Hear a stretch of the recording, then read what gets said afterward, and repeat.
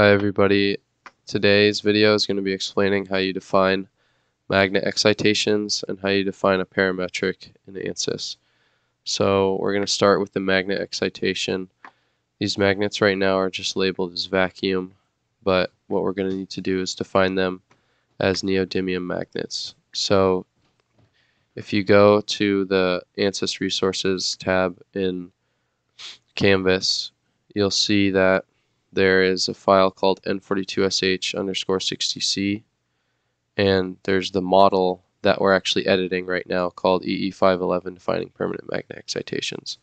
So go ahead and download this model and download this .tab file. So then open the model and you'll be here and now we need to define the permanent magnet excitations for these magnets. So we're going to start with the north-left magnets. So hold control and select all these north-left magnets. And then right click out in space, hit assign material, and then we're going to right click add material and we're going to title this N42SH north left. And then we're going to have to change the coordinate system to cylindrical and change the relative permeability to nonlinear. And then it'll give us the option for a BH curve. So then click BH curve, and you can click import data set, then file type, change the file type to .tab, and then you'll see this file that we downloaded. So select that file, and it's in the right units. It should be in amps per meter and Tesla, and then hit OK. And now we need to define the R, phi, and Z components of the magnets because they're angled. So if you go to the ANSYS Resources tab and you click the E511 permanent magnet unit vector.png, you'll see this little drawing I made that shows you the magnetic field vectors for the north, left, and right magnets and the south, left, and right magnets. So using trigonometry, because they're 100 degrees apart, we can find out that the unit vectors of these field lines will be in magnitude of cosine 40 and sine 40. And we know the direction that these unit vectors point in. So if we look from the top on, down onto the xy plane, we can see that the theta hat vector is pointing to the left and the r hat vector is pointing up or radially looking from this angle. So what we need to do is we need to define the unit vector magnitudes in accordance with the direction that these vectors point. So this table tells you what direction the vector should be pointing in. So we know the magnitude and the direction will be given by, so north left, the theta hat vector will be negative, the r hat vector will be positive. So first let's just input the magnitudes. So go back to ANSYS and the r component will be 0.766044. 0.766044. And then the theta component or phi component, some sources say theta, some sources say phi. ANSYS uses phi. I should have used phi for this drawing, but in this case they're the same thing. So the phi component is 0.6442788. 0.6442788. Hit enter. And we can click validate material then we can hit OK. And now we've got this project material. Hit OK. And now we've defined all the north-left magnets. So next we need to define the north-right, south-left, and south-right. And since we already have this material in here, so we can go ahead and select by holding control and left clicking all the north right magnets and then right click out in space assign material and now we can search N42SH, and then select N42SH north left, and then instead of clicking add material, you can click clone material. Then we'll retitle this N42SH north right. And the magnitude should already be in here. Um, I just realized I forgot to change the direction on the last one. So just hit OK for this. So you can go back. So you can go back to either of them and edit them. So I'm going to go back to N42SH north left and then click view slash edit. And I forgot to change the R hat or the theta hat to negative. So theta hat is negative and R hat is positive. So need to change this to negative. Hit OK. And then I'm going to go to N42SH north right, view slash edit. So now we need to make sure these are correct. So north right, both of them are positive, so this one should be fine. So you can just hit cancel, so it's already fine. And then hit OK. So now just double checking. Let's see here. Here's all the north left magnets.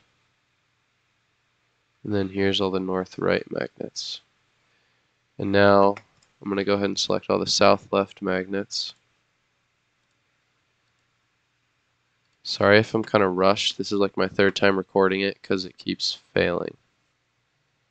Uh, let's just check. It's still recording. Alright, um, so I've selected all the south left magnets. Right click out in space, assign material. And I'm going to search N42SH and just select either of them. Then clone material, retitle it south, left. And then we're going to refer to the table and see south left is positive theta and negative r. So take away that minus sign, put a minus sign there, validate material, hit OK, OK. Now we define all the south left. Now I'm going to just, since these are all vacuum in here, I'm going to select all, and this should select all the south right magnets.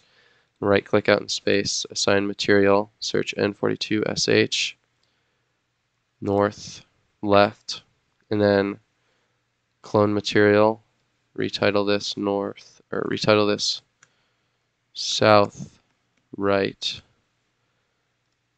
and then refer to the table. Both of them should be negative for the south right magnet. So change this to a minus. Validate. Okay. Okay. Now we've got all our materials defined for the magnet excitation. Sure, I got them all. Good. Now we're going to add an Optimetric so that we can find out what the peak torque angle of this motor is. So I've already put all these variables in here. So this defines the number of turns per winding. This defines the peak current applied. This defines the electric frequency. This defines the electrical angle phase shift. This defines the U phase current. This defines the V phase current. This defines the W phase current. This defines the rotational speed of the rotor. And this defines one electrical cycle, which is just the inverse of the electrical frequency. So what we need to do is we need to sweep that variable delta in order to find what angle generates the maximum torque. So make sure you go to one elect cycle, right click that, and then select properties. Make sure it has a 5 right here. So make sure it's the stop time is one elect cycle and the time step is one elect cycle divided by five because the file on Canvas might have like 50 or something like that. And that is just so that when you run one electrical cycle, the torque plot, the torque versus time plot will actually be like somewhat accurate. It'll have like a torque ripple. So with this, we're just reducing the sampling rate because we don't need a very high sampling rate for the purposes of finding the peak torque. So just make sure it's one elect cycle stop time and time step is one elect cycle divided by five. Now we can right click Optimetrics, left click add, then click parametric, then click add, and then make sure the variable is delta. Then we're going to start it from 180 to 360 because I already know what it's going to be about and we're going to step it by 10. So hit add, make sure yours is variable delta, start 180, stop 360, step 10, add, then hit OK, and hit OK. And then we can rename this uh, elec angle, then hit save. Make sure you got all this saved. All this motion setup stuff is already defined all the phase currents are defined for you, the vector potential is defined for you. All we're doing here is the magnet excitation and the electrical angle. So now our file should be ready to import to the virtual browser. So remember you go to Software Hub, Software, so you go to Software Hub and then you're on the Software Hub, blah, blah, blah. That was in the first pre-lab tutorial. So now we're here. You can click My Files, Temporary Files, Upload Files and then go to wherever you have your file saved.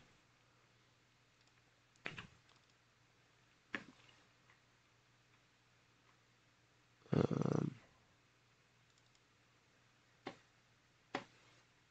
and then go ahead and open it. This PC, temporary files. And I'm going to go ahead and full screen it right now. So double click on Maxwell 2D Design to look at the 2D design. And just checking, we have all our materials in here. And all we need to do right now is right click elec angle and then click analyze and here you can see the progress so right now it's running five time steps per electrical cycle for deltas of 180, 190, 200, 210, etc. until 360, the way we set up the parametric. And so first, let's take a look at the torque versus time. So right click results and then left click create transient report rectangular plot and then you're going to click moving torque and the primary sweep will be time. You can click new report. And here it's showing us this really undersampled plot of the torque over time. And you can see it's only the five time steps we chose but you can see this family of values for delta 180, 190, 200, 210, 220 and it'll keep creating these plots until it gets to 360 and we can actually create a better graphical representation of the torque versus the angle. If we right click results create transient report rectangular plot and then we're going to select moving torque. And then we can actually type in here and we're going to go ahead and type mean and then in parentheses moving one dot torque like this. And then we're going to do the primary sweep of delta. And now if we go ahead and hit new report we'll be able to see that it's plotting delta on the x-axis and the mean moving torque on the y-axis. And basically this will be what you submit to Canvas I'd just like you to take a screenshot of this completed torque plot and then upload it to the assignment. Let me find it. Or I'm going to have to exit full screen here. So it'll be called ANSYS assignment, magnet excitation, and parametric. So once you finish this plot in ANSYS, take a screenshot and upload it here. And the peak torque is here. It should be around 55 newton meters as long as you sweep it from 180 to 360 degrees. All right. Make sure you guys do it. I'm not going to finish playing it tricky. All right. Thanks, guys.